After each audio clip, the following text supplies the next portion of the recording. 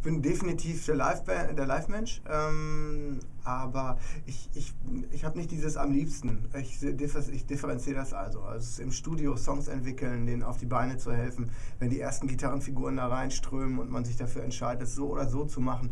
Das sind äh, alles Gänsehautmomente, die ähm, auch ganz speziell sind im Studio, wenn dann das, die Kerzen leuchten und überall die Mikrofone und, der, und alle sind ganz ruhig und andächtig und du merkst jetzt gerade spielst du das Lied ein, was später auf der CD ist und das wirst du dir tausendmal so ungefähr anhören äh, können und auch müssen. Das muss Bestand haben.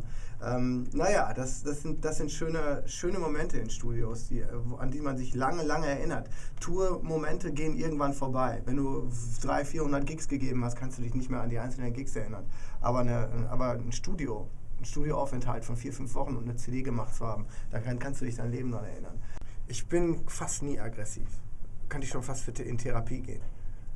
Also ich sollte mal, finde ich, ein bisschen öfter aggressiv sein, mal auf den Putzer und so. Hau doch mal drauf! Ne? Ja, richtig. If you can't say no, just think about me. Lenny Kravitz hat er für mich geschrieben. Dieses Album schrie nach Veränderung. Das wollte ich erst nicht wahrhaben. Wir haben wirklich zweieinhalb Jahre dran gesessen. Es klang am Anfang so ein bisschen wie die ersten beiden. Und äh, als wir dann zwölf Songs und fünf Wochen hinter uns hatten mit Schweiß und Freude und allem Herzblut, was man da reinsteckt, kam dann doch ziemlich große Kritik seitens der Plattenfirma und des Managements, die mich lange machen lassen haben, was ich wollte. Das heißt nicht, dass ich im Endeffekt nicht getan habe, was ich wollte. Das heißt nur, ich musste für mich eine Entscheidung treffen, mich zu verändern. Das bedeutet, sich von, sich von Leuten zu trennen und mit neuen anderen Leuten was zu machen. Es gibt dieses Wundern, das man nicht verlernen darf. Ne? Wenn man dazu neigt, äh, zu wiederholen, sich zu wiederholen ähm, und aber trotzdem den Ehrgeiz hat, an sich zu arbeiten, kämpft man sich halt noch anders als andere Menschen immer wieder zu neuen äh, schwingt sich auf zu neuen Taten und ähm, kann die auch eben dementsprechend frisch genießen. also dieses Album ist für mich äh, wie ein Debütalbum. Als ob ich jetzt ein, neuer Künstler wäre, der äh, gerade das erste Album rausgebracht hat. So fühlt sich an für mich. Gut, also ganz ohne selbstverliebt zu wirken. man, muss ja, man muss ja, wenn man sein Konzert an, anprangert, muss man sagen, wie toll das ist.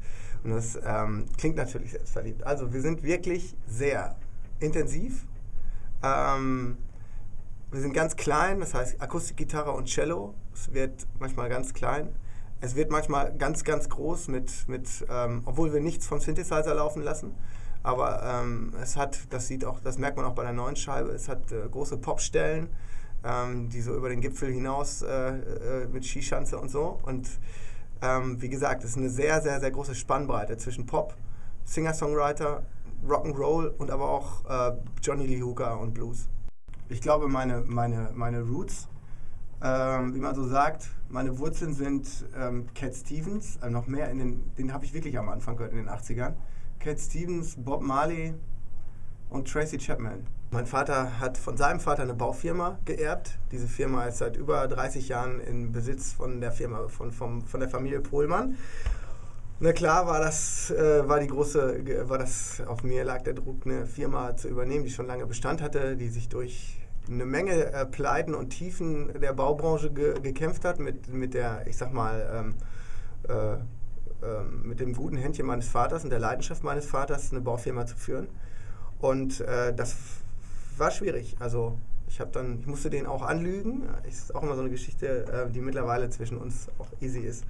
Äh, ich bin dann nach Hamburg gezogen und habe gesagt, ich würde Bauwesen studieren und habe dann aber eine Band aufgemacht und wir hatten dann, Entschuldigung, ich musste gerade mal kurz, ähm, wir hatten dann nach einem halben Jahr in Hamburg einen Platten, Plattenvertrag bei der Universal, das war eine große Platten, oder ist eine große Plattenfirma, die ähm, sehr viel Geld bezahlt hat. Und dann bin ich nach Hause gegangen, habe dann aus der Klarsichtfolie so einen Wisch geholt, da stand drauf die Band Goldjunge ist unter Vertrag von der Firma, von der Firma Universal und bekommen so und so viel Geld Vorschuss. Das war nicht wenig.